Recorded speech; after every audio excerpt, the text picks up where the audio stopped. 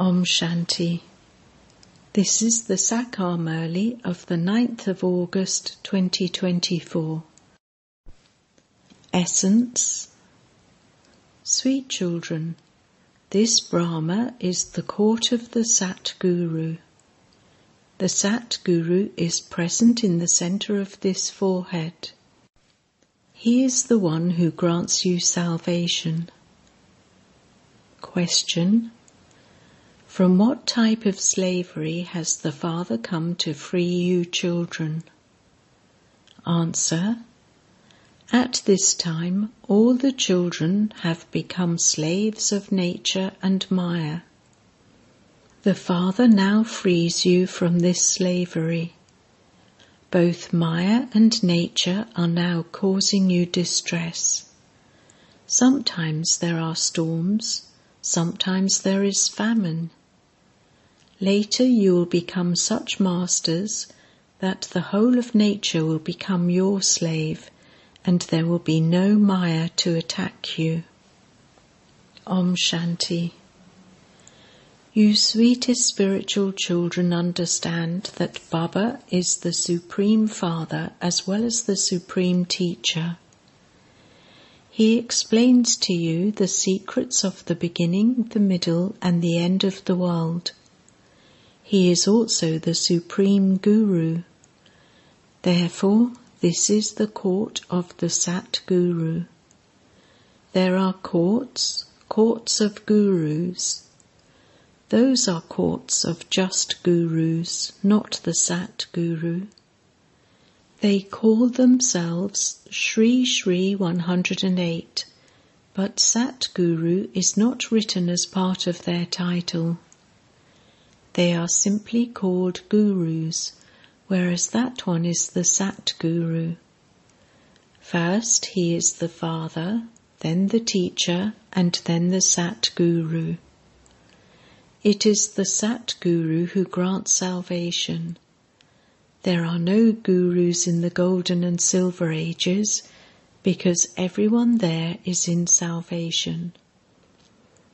When the one Sat Guru is found, all name and trace of all the other gurus finish.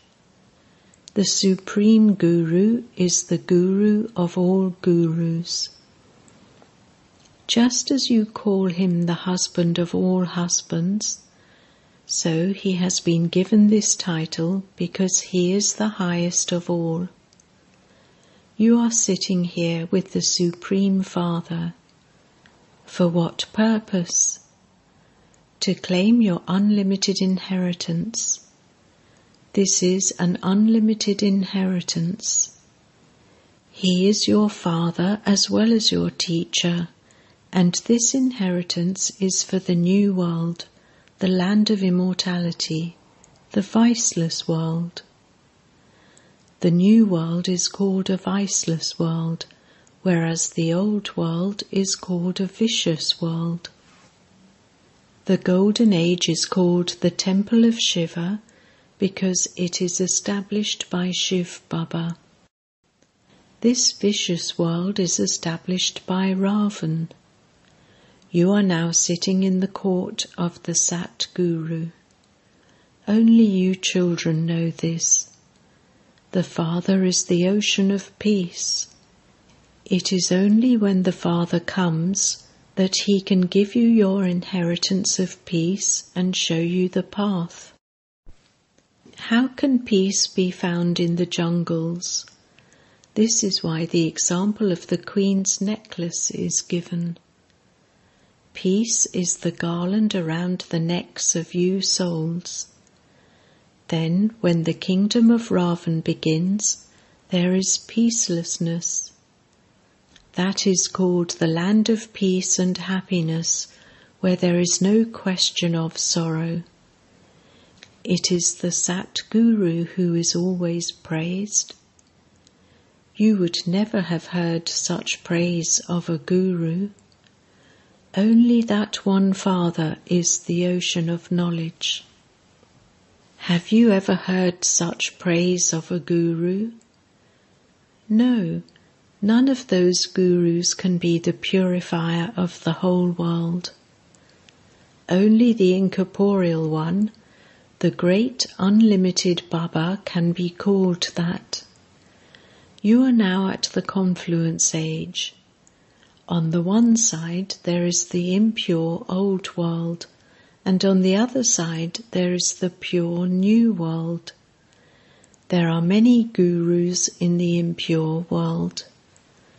Previously, you didn't know about the confluence age.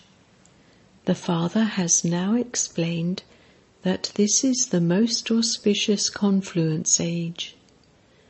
The golden age will come after this. The cycle continues to turn. You have to keep it in your intellects that you are all brothers. Therefore, you would surely receive your inheritance from the unlimited Father. No one knows about this. There are many people with important positions, but they don't know anything. The Father says, I grant salvation to all of you. You have now become sensible.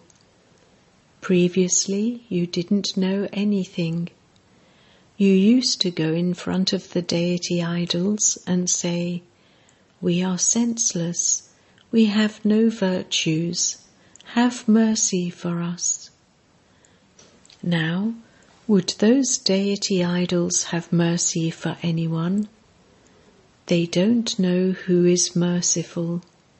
People even say, O God the Father, have mercy for us. They definitely remember the Father when any distressing incident takes place. You no longer say this. The Father is the one without an image. He is sitting in front of you. That is why he says Namaste to you. All of you have an image, whereas I am without an image. I never adopt an image. Tell me the name of my image. You would say, Shiv Baba, that's all. I have taken this body on loan and it is the oldest of old shoes. I come and enter this one. This body is not praised. This body is old. Is he praised because he is adopted? No. The Father says, This one used to be like that, and he will become beautiful again through me. The Father now says, Judge whether whatever I tell you is right, and if so, remember what is right. Only listen to that one do not listen to anything unrighteous. That is called evil. Speak no evil. See no evil. Forget everything you see through those eyes. You now have to return to your home and you will then go back to your land of happiness. All the rest are as though they are dead. They are here temporarily. Neither will these old bodies remain, nor will this old world exist. We are making effort to go to the new world. This world history and geography will then repeat. You are claiming your fortune of that kingdom. You know that the Father comes every cycle to give you your fortune of the kingdom. You also say that you met Baba a cycle ago, that you claimed your inheritance from him and changed from an ordinary human into Narayan.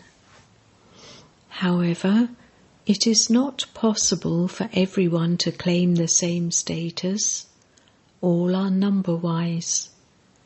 This is a spiritual university and it is the spiritual father who is teaching you. Some children also teach. The son of a principal of a school would also get involved in that service. His wife would also start to teach. If their daughter studies well, she too can teach. However, she then goes to another home. It is not the general rule here for a daughter to have a job. To claim a status in the new world depends entirely on how you apply yourself to this study.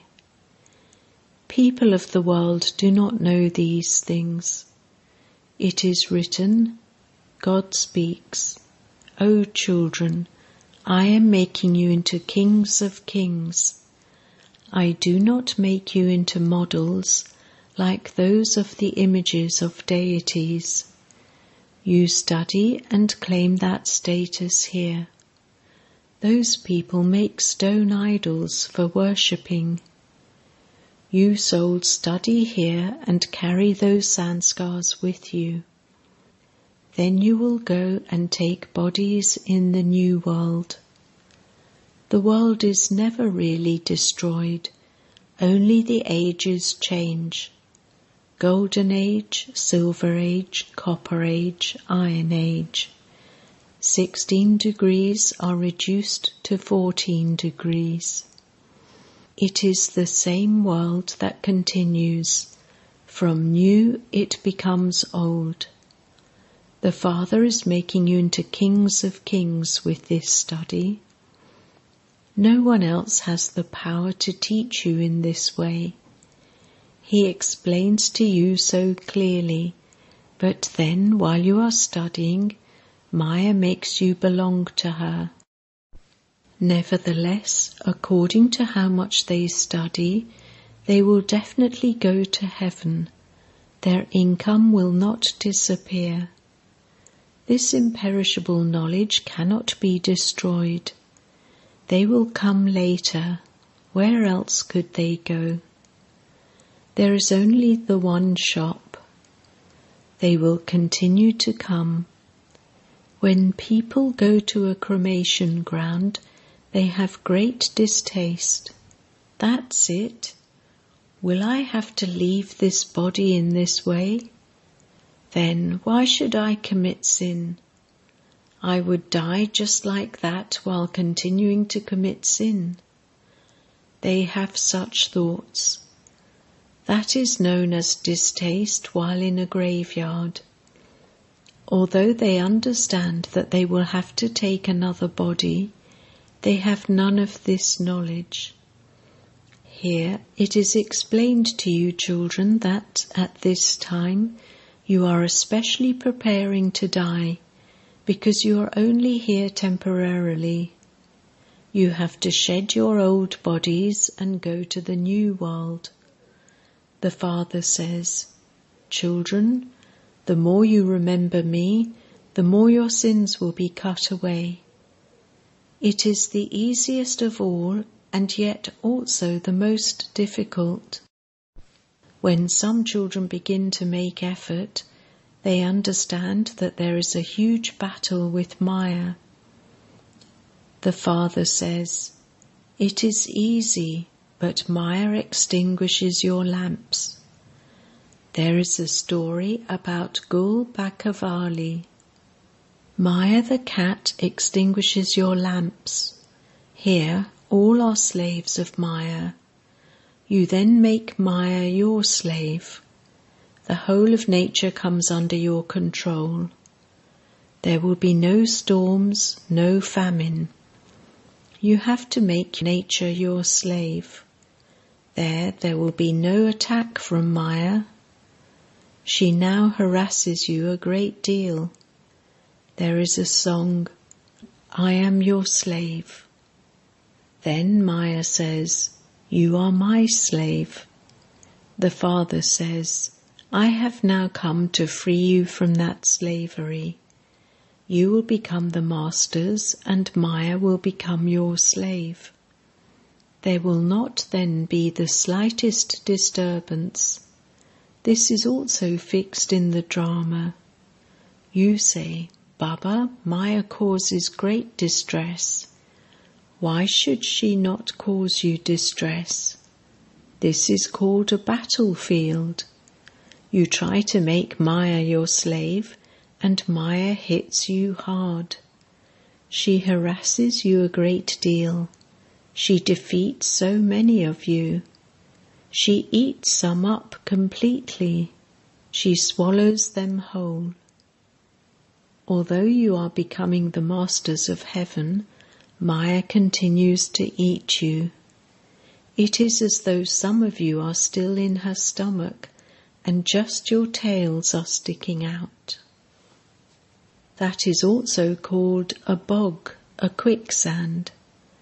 So many children are in that bog. They are not able to have the slightest remembrance. There are the examples of the tortoise and the buzzing moth. You can buzz this knowledge to such insects and change them from what they are into something else, into complete angels of heaven. Although sannyasis also give the example of the buzzing moth, they don't buzz this knowledge or transform anyone. This transformation takes place at the confluence age. This is now the confluence age in which you become Brahmins from Shudras. This is why you bring vicious human beings here. Among those insects, too, some change into buzzing moths, some decay, and some remain incomplete. Baba has seen many like that. Here, too, when some study very well, they develop wings of this knowledge, whereas Maya catches hold of others halfway, and so they remain weak. These examples relate to the present time. It is a wonder how a buzzing moth brings an insect and makes it similar to itself. That is the only insect that can make others similar to itself. The other example given is that of the snake. In the Golden Age, you shed one skin and take another. You instantly have a vision that you will now leave that body. The soul leaves and goes and sits in the palace of another womb. There is also the example of a soul who did not want to come out from the palace of a womb. However, the baby definitely has to come out. You children are now at the confluence age. You are becoming elevated through this knowledge. You have been performing devotion for birth after birth.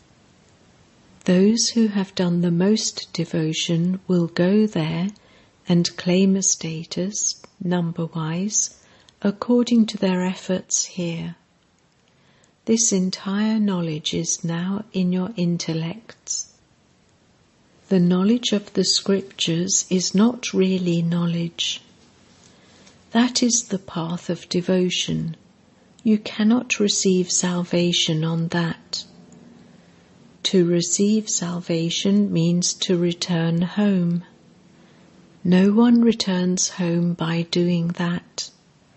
The Father Himself says, No one attains me through that. Along with the one who teaches you, you also need the one who can take you back with him. The Father has so much concern the Father only comes once every 5,000 years to teach you. This is called spiritual knowledge. The Supreme Spirit gives us spirits this knowledge. Sanskars also remain within souls, whereas the bodies are destroyed. Souls are imperishable the forehead of Brahma is the court of the Sat Guru. This is the court of this soul. Then the Sat Guru also enters this one. This one is called the chariot as well as the court. You children are opening the gates to heaven on the basis of Srimat. The better you study, the higher the status you will claim in the Golden Age. Therefore, you should study. The children of a teacher would be very clever. However, it is said that those who have the Ganges flowing by their homes have no regard for it. Baba has seen how the rubbish of a whole city is disposed of in the Ganges.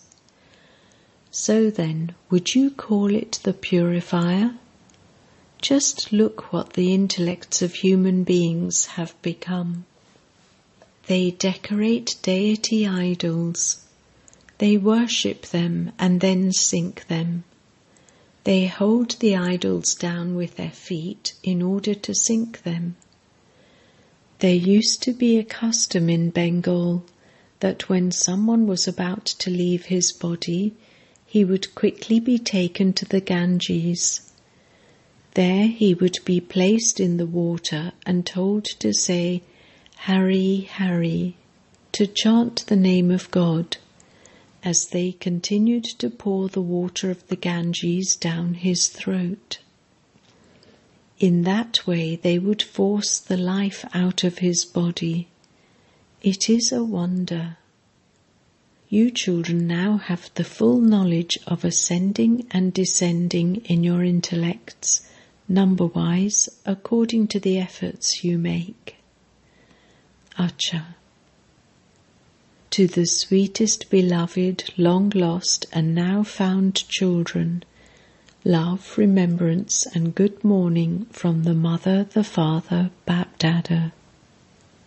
The spiritual father says Namaste to the spiritual children, and the spiritual children say Namaste to the spiritual father. Essence Vedana 1. Only listen to what the Father tells you and judge what is right. Only remember what is right. Do not listen to, speak about, or look at unrighteous things. 2. Study well and make yourself a king of kings. Consider yourself to be only temporarily in that old body and this old world. Blessing. May you be a soul with all rights and transform any external situation that is out of control with your power of concentration. A Brahmin, that is, a soul who has all rights, cannot be controlled by anyone else. Such a soul cannot be controlled by his weak nature or sanskars, because one's nature, swabhav, means to have soul conscious feelings for oneself and for others.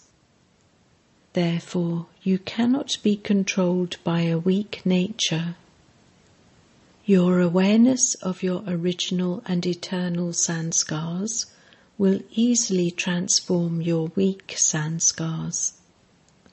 The power of concentration will easily transform any external situation and enable you to become set on the seat of a master. Slogan Anger is a very great enemy of a knowledgeable soul. Om Shanti.